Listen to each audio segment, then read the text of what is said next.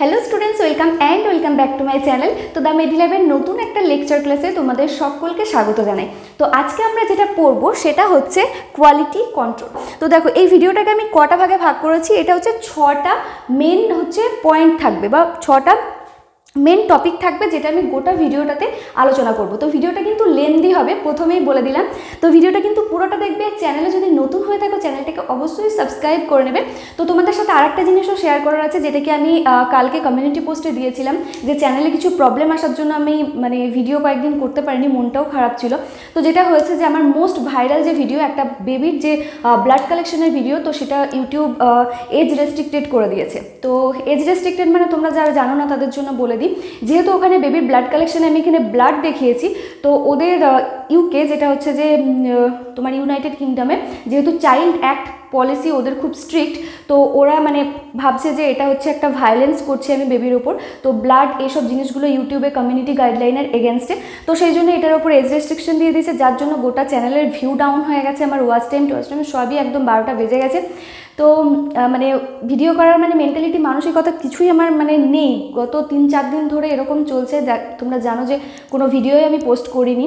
তো মনটা খুবই খারাপ ছিল। এতদিন ধরে মানে ভিডিও বানানোর পর ওই ভিডিওটাই আমার সবথেকে ভাইরাল ভিডিও ছিল। তো ওটার ওপরই এরকম হয়ে গেছে। যাই হোক, কী আর করব? তোমরা বেশি বেশি করে একটু সাপোর্ট করো। যাতে মানে আরও মোটিভেটেড হয়ে আর কি।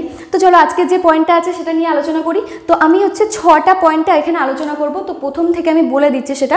প্রথমে হচ্ছে হোয়াট ইজ কোয়ালিটি কন্ট্রোল তো এটা আগে জানতে হবে। নেক্সট হচ্ছে what is assurance accuracy and precision যখনই কোয়ালিটি কন্ট্রোলের কথা আসবে, তখন অ্যাকিউরেসি আর প্রিসিশন বলে দুটো টার্ম আসবে, যেটা তোমরা বারবার হামেশাই পাবে। তো সেই অ্যাকিউরেসি আর প্রিসিশনটা কী জিনিস সেটা জানতে হবে। নেক্সট হচ্ছে what is quality assurance and QC short ফর্মে লিখেছি কিউসি ফোন হচ্ছে কোয়ালিটি কন্ট্রোল আর কিউ এ যেখানে লিখব, সেখানে হচ্ছে কোয়ালিটি অ্যাসুরেন্স ওকে তো কোয়ালিটি অ্যাসুরেন্স কী আর কোয়ালিটি কন্ট্রোল কী? আর তাদের মধ্যে ডিফারেন্স কী? আর হচ্ছে টাইপস অফ কোয়ালিটি কন্ট্রোল আর হচ্ছে what is pre analytic analytic and post analytic error তো এই গোটাটা আমি আজকে গোটা ভিডিওটাতে আলোচনা করব। ভিডিওটা কিন্তু লং হবে, কিন্তু খুব ইম্পর্টেন্ট হবে। একটা পয়েন্টে যদি মিস করো, তাহলে কিন্তু বুঝতে পারবে না। তো তোমাদের রিকোয়েস্ট এই ভিডিও আনা। প্লিজ ভিডিওটাকে মানে শেয়ার করে দিও, বন্ধুদের সাথে লাইক করে দিও সাবস্ক্রাইব অবশ্যই করো। তো চলো ভিডিওটাকে স্টার্ট করে দিই। তো প্রথমে হচ্ছে হোয়াট ইজ কোয়ালিটি কন্ট্রোল এটা আগে আমরা আলোচনা করব। কোয়ালিটি কন্ট্রোল তো প্রথমে আগে একটা জিনিস বলো। কোয়ালিটি মানে আমরা কি বুঝি? কোনো জিনিসের কোয়ালিটি মানে আমরা এটাই বুঝি যে কোয়ালিটি কি? না quality is that that fulfill the requirement of customer quality হচ্ছে এমন একটা জিনিস যেটা কাস্টমারের রিকোয়ারমেন্টগুলোকে ফুলফিল করবে। কাস্টমার কারা এখানে? এখানে কাস্টমার হচ্ছে আমার পেশেন্ট ঠিক আছে? তো এটা যদি আমি জামা কাপড়ের উদাহরণ দিয়ে যদি বোঝাতে যাই, কোন একটা জামার আমরা কি দেখি? কোয়ালিটি দেখি।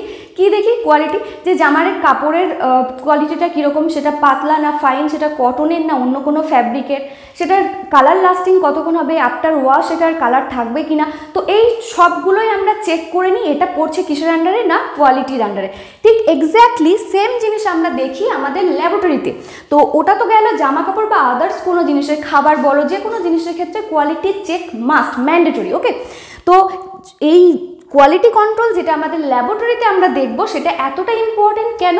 কারণ হচ্ছে এখানে নির্ভর করছে আমার যে টেস্ট রিপোর্টটা সেটার ওপর ডিপেন্ড করছে কোনো একটা পেশেন্টের জীবন। কেমনভাবে? সাপোজ ধরো কোনো একটা পেশেন্টের সুগার সে সুগারের পেশেন্ট নয়, তার হচ্ছে নর্মাল সুগার নাইনটি এইট বা একশো এক, একশো দুই। কিন্তু আমার ল্যাবরেটরিতে কোয়ালিটি কন্ট্রোল ঠিক নেই। মেশিন ক্যালিব্রেটেড নয় পিপেড ক্যালিব্রেটেড নয় যে মানে টেস্ট প্রসিডিওরটা করছে সে ওয়েল ট্রেন্ড নয়।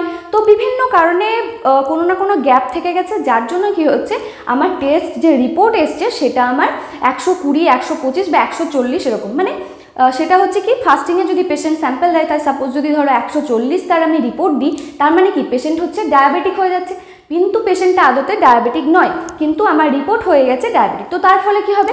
সেই রিপোর্টের ভিত্তিতে কি হবে? ফিজিশিয়ান বা যে ডাক্তারবাবু যিনি আছেন, তিনি তাকে মেডিসিন দেবেন। কিন্তু আদতে পেশেন্ট সে তো তার তো ডায়াবেটিক নয় সেই পেশেন্ট তো ডায়াবেটিক নয়, কিন্তু সে কি হচ্ছে? না সুগার বেশি থাকার জন্য রিপোর্টে বেশি থাকার জন্য তাকে সুগারের মেডিসিন চলছে। তাহলে কী হবে? পেশেন্টের প্রাণ নিয়ে ছিনিমিনি খেলা হচ্ছে। ঠিক এই কারণের জন্যই প্রত্যেকটা ল্যাবরেটরিতে কিন্তু quality control must and mandatory okay তো কোয়ালিটি কন্ট্রোলে আমরা কি করব? কোয়ালিটি কন্ট্রোল কি জিনিস দেখব? এটা হচ্ছে quality that fulfill the requirement of customer এখানে আমাদের কাস্টমার কে? আমাদের কাস্টমার হচ্ছে পেশেন্ট ঠিক আছে? তো কাস্টমার অপ্লিক এখানে আমি লিখে দিলাম পেশেন্ট এখানে আমাদের কাস্টমার হচ্ছে আমার পেশেন্ট ওকে তো হচ্ছে কি এবারে দেখব, না কোয়ালিটি কন্ট্রোল কি করতে আমরা ইউজ করছি, না টু প্রোভাইড মানে হচ্ছে দিতে accurate and reliable result with minimum possible time and with minimum error এই কথাটা ভালো করে বোঝো, বাংলার এটা পুরোটা বোঝো। টু প্রোভাইড কোয়ালিটি কন্ট্রোল কেন করছি? টু প্রোভাইড দিতে কি কি দিতে?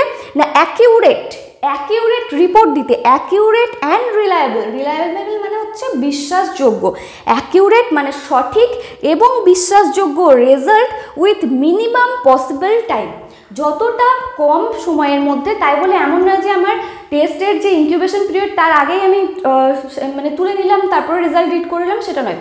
মিনিমাম পসিবল টাইম যতটা তার জন্য দরকার হয়, ততটা টাইম আমি নেব নাকি খুব বেশি দেরি করব নাকি তাড়াহুড়ো করব okay and with the minimum error মানে খুবই মানে কম, যতটা সম্ভব এরর কম করে, ভুলভাল কম করে এবং পসিবল মিনিমাম পসিবল টাইমের মধ্যে পেশেন্টকে আমি accurate and reliable report provide করতে পারব যখন তখনই আমি বলব যে আমার ল্যাবরেটরি কোয়ালিটি কন্ট্রোল মেনটেন করছে।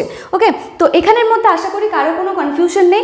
এটা কিন্তু নোট ডাউন করে নাও খাতার মধ্যে। যখন তোমাদের কোয়ালিটি কন্ট্রোলের শর্ট নোট বা বড় কোশ্চেন দেবে, তখন কিন্তু তোমাকে এটা লিখতে হবে। ঠিক আছে? তাহলে quality that fulfil the requirement of the customer এখানে কাস্টমার হচ্ছে আমাদের পেশেন্ট আর কেন করব quality control to provide the accurate and reliable result with minimum possible time and with minimum error তো এটা আমার হয়ে গেল, প্রথম পয়েন্ট আমার হয়ে গেল। হোয়াট ইজ কোয়ালিটি কন্ট্রোল আমি কমপ্লিট করে দিলাম। এরপর আমার কি আছে? What is accuracy and precision এটা দেখো, খুব ভালো করে বুঝতে হবে।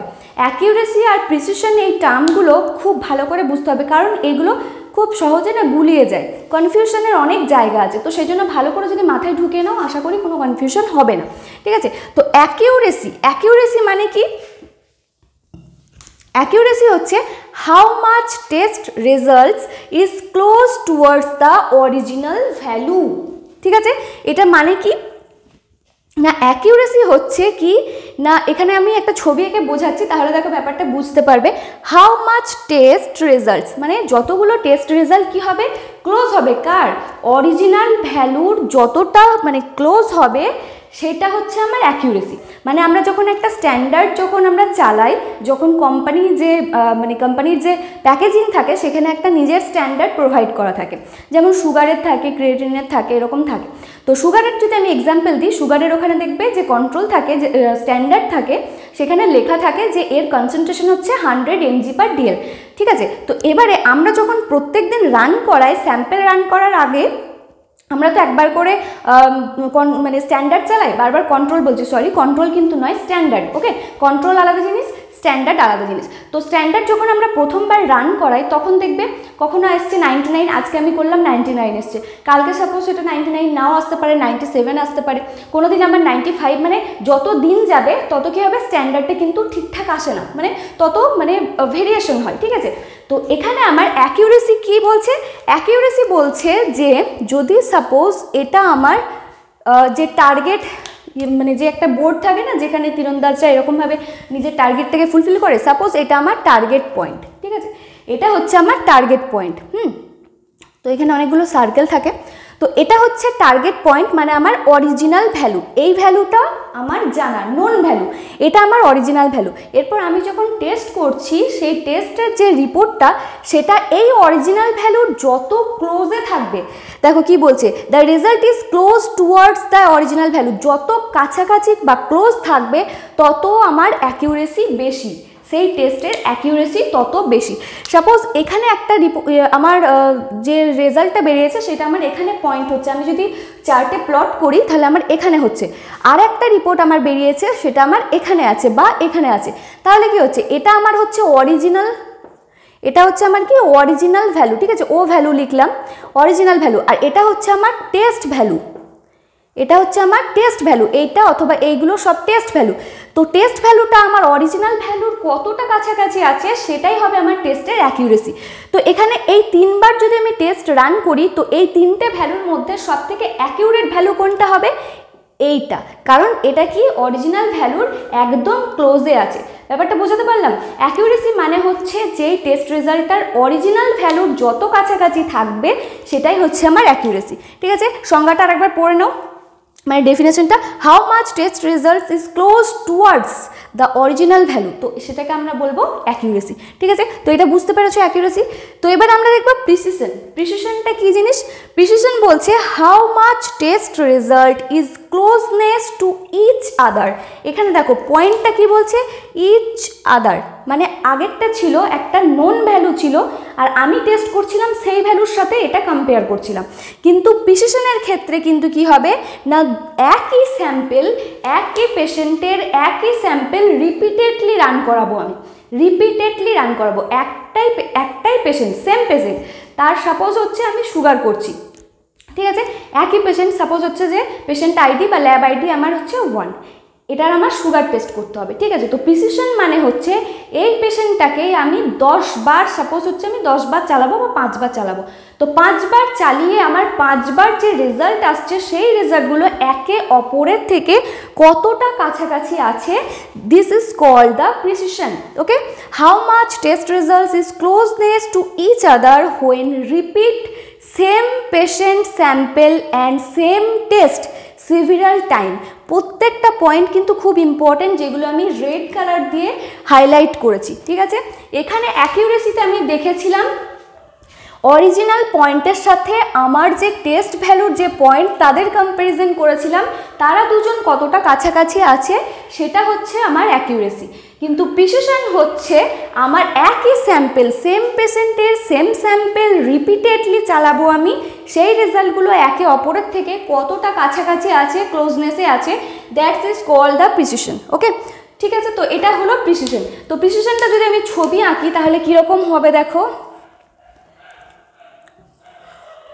ঠিক আছে? এইটা হচ্ছে আমার প্রিসিশনের চোখ। তো সাপোজ হচ্ছে একটা আমি, এখানে কিন্তু আমি কোনো নোন ভ্যালু দিচ্ছি না, কারণ আমি একটা যে পেশেন্টের আমি চালাচ্ছি সে তো আগে থেকে আমার নোন নয় সাপোজ আমার নোন নয়, ঠিক আছে? তো সেটাকে আমি চারবার, পাঁচবার চালাবো। তো চারবার, পাঁচবার চালিয়ে সাপোজ হচ্ছে এখানে একটা পয়েন্ট এলো আমার, যেটা আমার সুগার হচ্ছে পঁচানব্বই।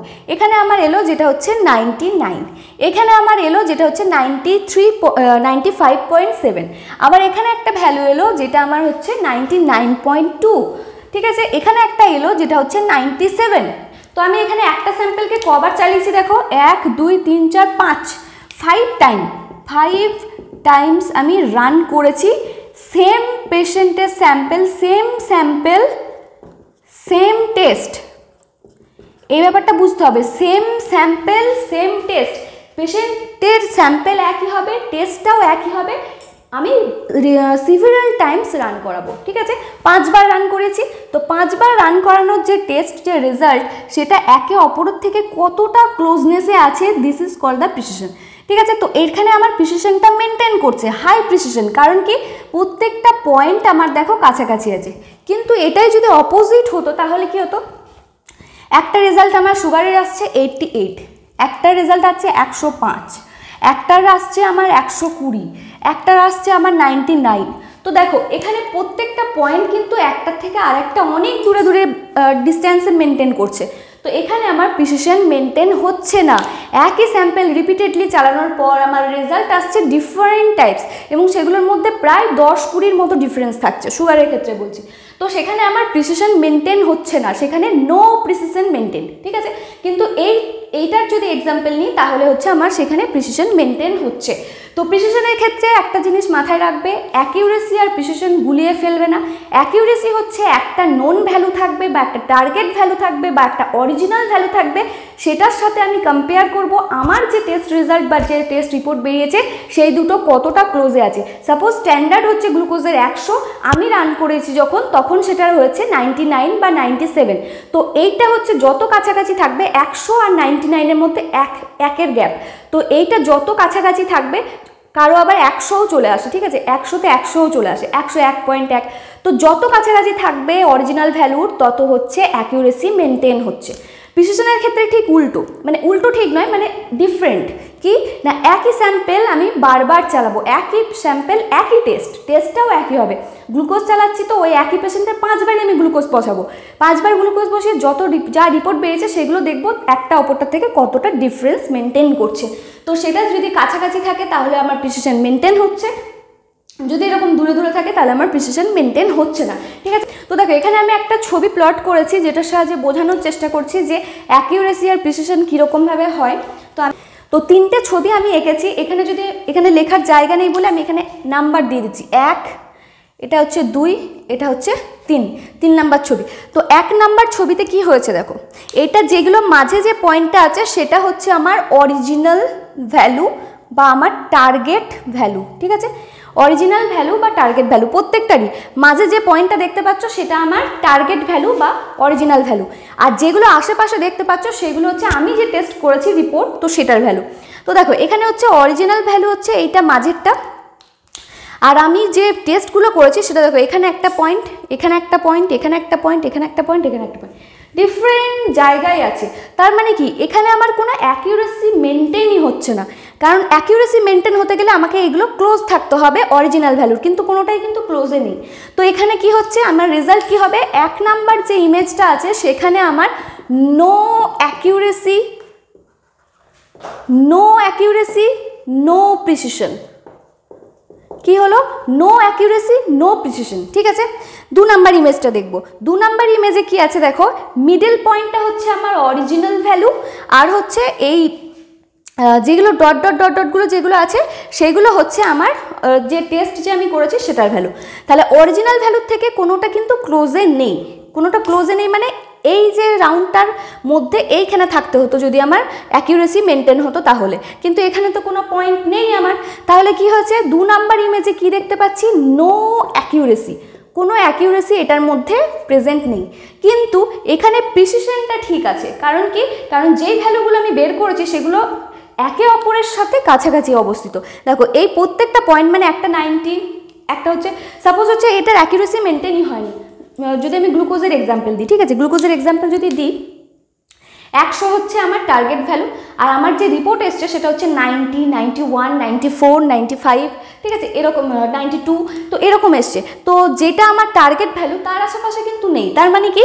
নো অ্যাকিউরেসি কিন্তু যতবার আমি চালিয়েছি স্যাম্পেলটাকে ততবারই কিন্তু আমার খুব কাছাকাছি রিপোর্ট দিয়েছে। তার মানে এখানে কি হচ্ছে no accuracy but high precision high precision ঠিক আছে?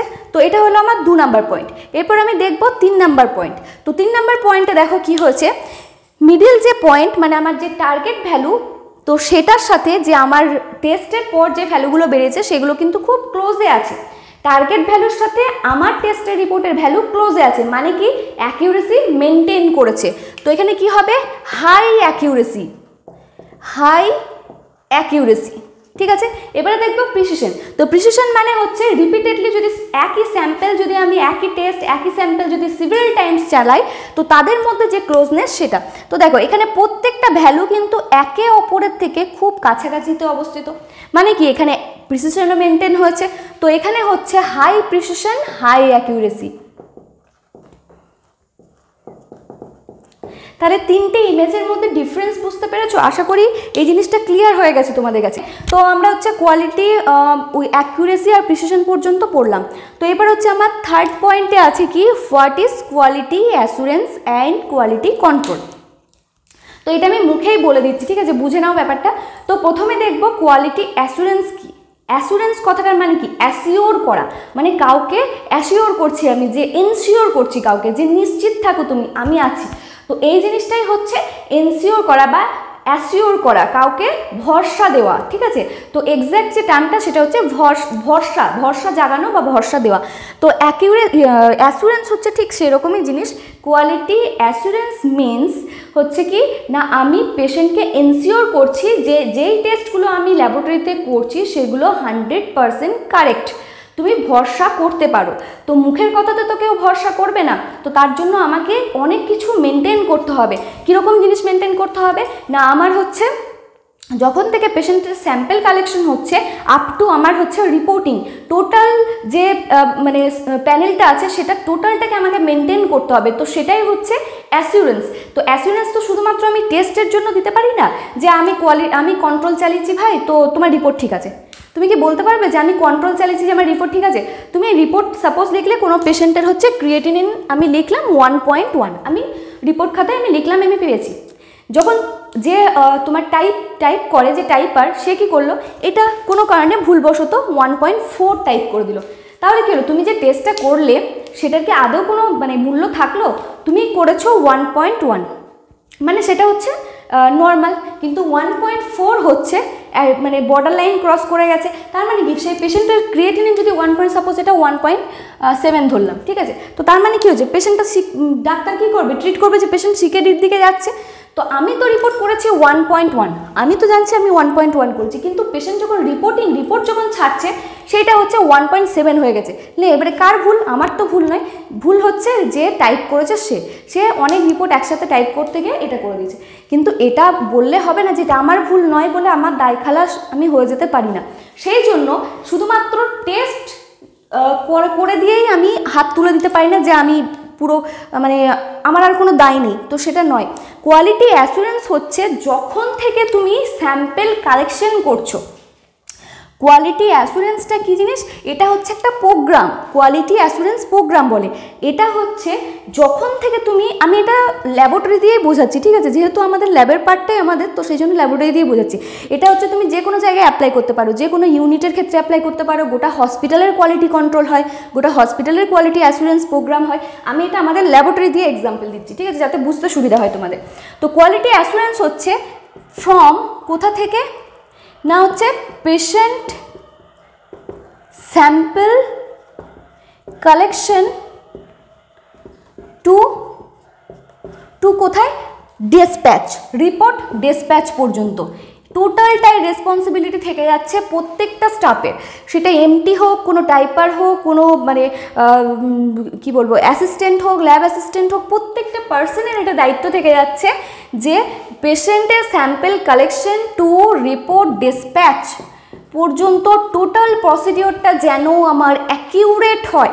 এখানে কোনো ভুল হওয়া মানেই হচ্ছে, যে কোনো পার্টে যদি কোনো ভুল হয় টেকনিক্যাল এরর হতে পারে, কোনো ম্যানুয়াল এরর হতে পারে রিপোর্ট ডিসপ্যাচে কোনো প্রবলেম হতে পারে, তাহলে কিন্তু আমার গোটা মানে রিপোর্টিংটাই আমার ভুল হয়ে যাবে। বুঝতে পারছ? মানে রিপোর্ট তুমি ঠিক করছ, কিন্তু কারোর একটা ভুলের জন্য গোটা রিপোর্টটাই ভুল চলে গেল। তাহলে আমার কোথায় কোয়ালিটি মেনটেন হলো? কোনো জায়গাতেই কোয়ালিটি মেনটেন হলো না। তো কোয়ালিটি অ্যাসুরেন্স যেটা, সেটা হচ্ছে from patient sample collection, to report dispatch.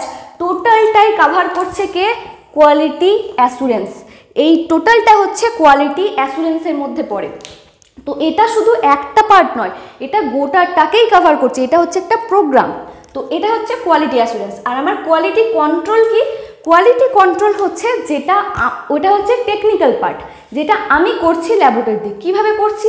আমি প্রথমে স্যাম্পেল যখন কালেক্ট করছি মানে স্যাম্পেল যখন আমার কাছে আসছে, আমি যখন টেস্ট স্টার্ট করছি, তখন আমাকে কি চেক করতে হবে? প্রথমে আমাকে দেখতে হবে যে মেশিনের আমার ক্যালিব্রেশন আছে কিনা, মেশিন প্রপারলি এএমসির আন্ডারে আছে কিনা। বা যদি মান্থলি কোনো ক্যালিব্রেশন হয় সেটা বা উইকলি ক্যালিব্রেশন যা কিছু হয় বা অ্যানুয়াল কোনো ক্যালিব্রেশন প্রথমে দেখতে হবে যে মেশিনটা আমার আন্ডার ক্যালিব্রেশন আছে কি না ঠিক আছে? তার সাথে দেখতে হবে যে আমার পিপেট ওয়েল ক্যালিব্রেটেড আছে কিনা। আমি তুলতে যাচ্ছি কুড়ি মাইক্রোলিটার, আমার রিকোয়ারমেন্ট আছে, উঠে যাচ্ছে আমার পঞ্চাশ মাইক্রোলিটার। তো সেরকম তো হবে না, তাহলে রিপোর্ট তো হাই আসবে। তো সেইগুলো আমাকে দেখতে হবে। অ্যাজ এ টেকনিক্যাল পার্সন আমাকে এই জিনিসগুলো চেক করতে হবে, ঠিক আছে? তো এইগুলো সব জিনিসগুলো আসছে আমার কোয়ালিটি কন্ট্রোলের আন্ডারে তো কোয়ালিটি কন্ট্রোল বেসিক্যালি হচ্ছে যেগুলো আমরা স্ট্যান্ডার্ড চালাচ্ছি বা হচ্ছে কন্ট্রোল চালাচ্ছি, তো সেইটা, ঠিক আছে? সাপোজ হচ্ছে কোনো রিয়েজেন্টে যেটা আমরা যেটা মানে কোম্পানি যেটা সাপ্লাই দিচ্ছে অথবা থার্ড পার্টি কোনো কন্ট্রোল আমরা ইউজ করছি, তো সেটা হচ্ছে কন্ট্রোল ঠিক আছে?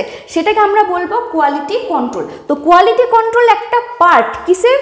কোয়ালিটি অ্যাসুরেন্সের আন্ডারে একটা পার্ট হচ্ছে কোয়ালিটি কন্ট্রোল মানে কোয়ালিটি কন্ট্রোল হচ্ছে ছোট একটা জিনিস।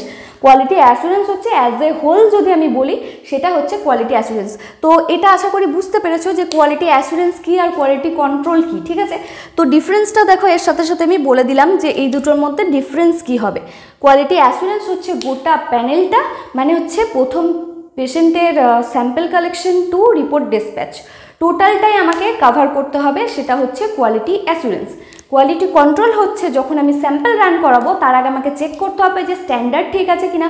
রিয়েজেন্টটা যে কোল্ড চেন আছে সেটা মেনটেন করছে কিনা রিয়েজেন্টে আমি কাজ করলাম রিয়েজেন্ট বাইরে নর্মাল রুম টেম্পারেচারে রেখে দিয়ে আমি বাড়ি চলে গেলাম, কাজ হয়ে গেছে।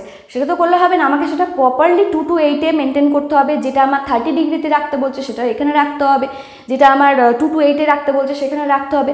তো যদি না হলে রিয়েজেন্ট যদি কন্টামিনেশন হয় সেটাকে ডিসকার্ড করতে হবে। তো এই টোটালটা হচ্ছে টেকনিক্যাল যে পার্টটা সেটা আমার আসছে কোয়ালিটি কন্ট্রোলের আন্ডারে ঠিক আছে? আর কোয়ালিটি অ্যাসুরেন্সের সাথে সবাই যুক্ত। শুধুমাত্র টেকনিক্যাল পার্সন না, বাকি পার্সনরাও হচ্ছে কোয়ালিটি অ্যাসুরেন্সের সাথে যুক্ত।